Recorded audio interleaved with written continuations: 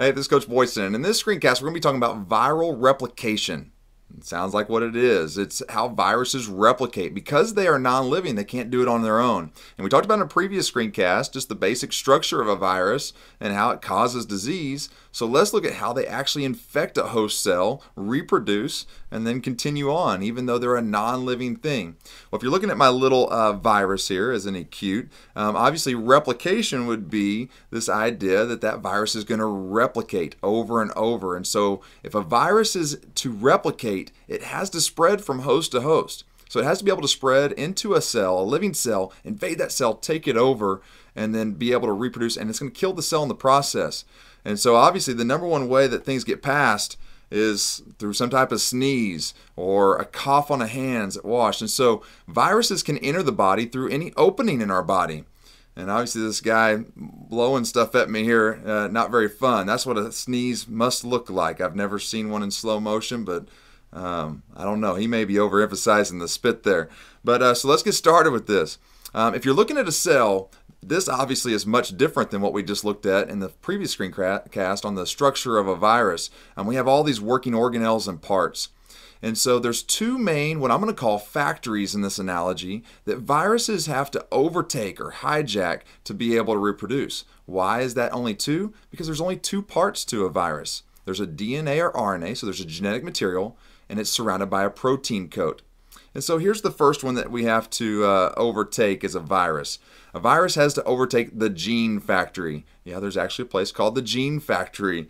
Um, the gene factory is actually going to be right here in the nucleus. All right, that's where DNA gets copied. And so, what's the process I'm talking about here? I'm talking about DNA replication.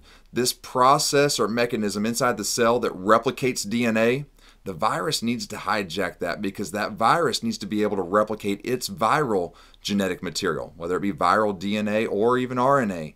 And so to do that, it has to take over the gene factory. If we look down here to the left, the other factory that's going to have to overtake is what I'm going to call the coat factory. We said last time that viruses have a protein coat. And so it has to take over that coat factory. And here's the process I'm talking about it's the protein synthesis process.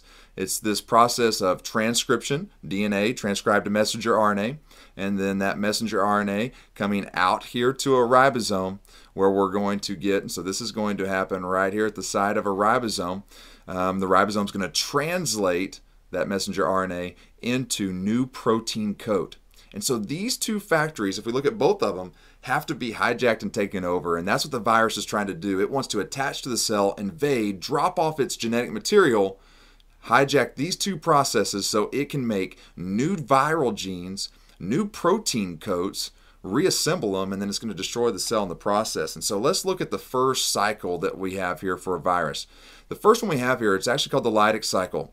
Um, it comes from the word lysis. Lysis means to break open. And so at the end of this cycle, the cell is going to burst and release new virus, and it's going to die in the process.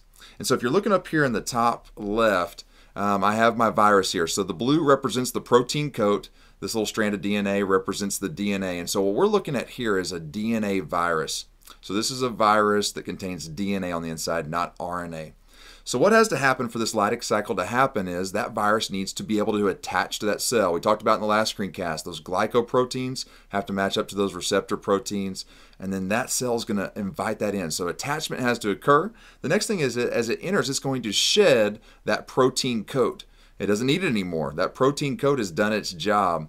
And those, those viral DNA is going to go take over the mechanism, our first uh, factory. It's going to take over that gene factory.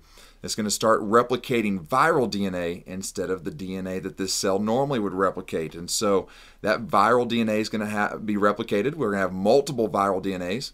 And then now it's going to move on to the second factory, which is our uh, coat factory to make new coats, which is protein synthesis. So, what's the first step? That DNA needs to be transcribed. So, our little red squiggly lines here represent messenger RNA that's come off of that DNA.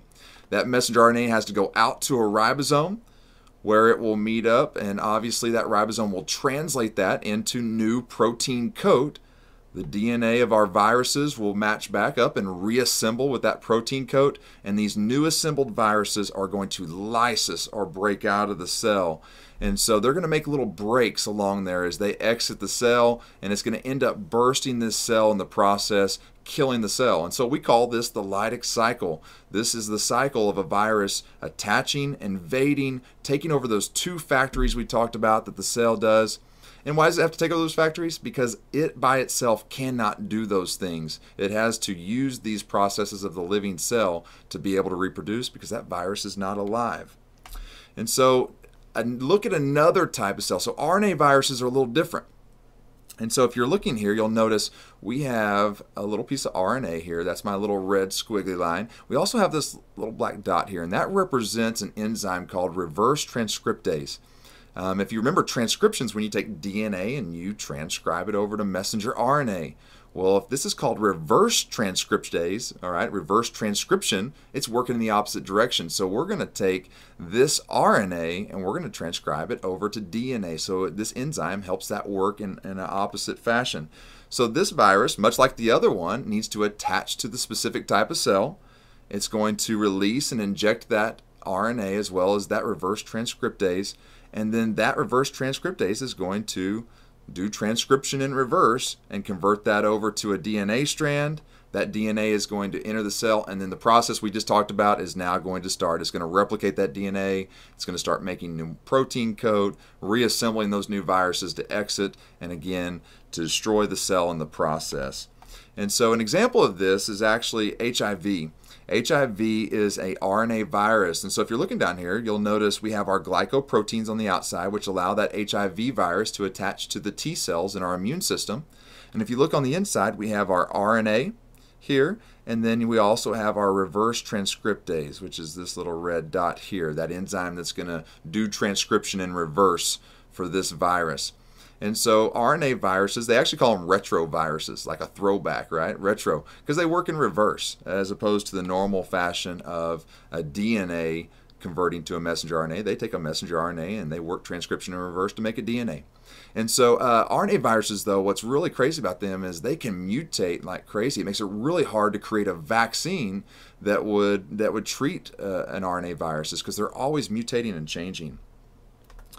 And so that brings me to my last time. So that was the lytic cycle. Lytic cycle comes from that word lysis. It means it's going to bust bust out. And so um, it's going to kill the cell in the process. The next type of cycle that viruses can fall into is what we call a lysogenic cycle. So it's a little different. So if you're looking at this, both of the cycles are shown in this picture. So we have the lytic cycle here, and this is what we talked about. So if we come here to part one, the virus, and this is a bacteriophage, is going to attach, release its viral DNA. Um, it's then going to begin reproducing that viral DNA and, and protein coat. It's going to reassemble those as we work to the top. And then once they're reassembled, they're going to lysis and break out right here, causing uh, the death of that cell. But if you come down here to the bottom, we have what we call the lysogenic cycle. And this cycle is a little different. The example I like to use for this is herpes. Uh, the type of herpes that gives you the cold sores here on your mouth. Um, this type of virus has the ability that once that is injected, all right, so once that DNA or RNA is injected, it has the ability to merge with the genome there of that particular cell. In this case, this is a bacteria cell.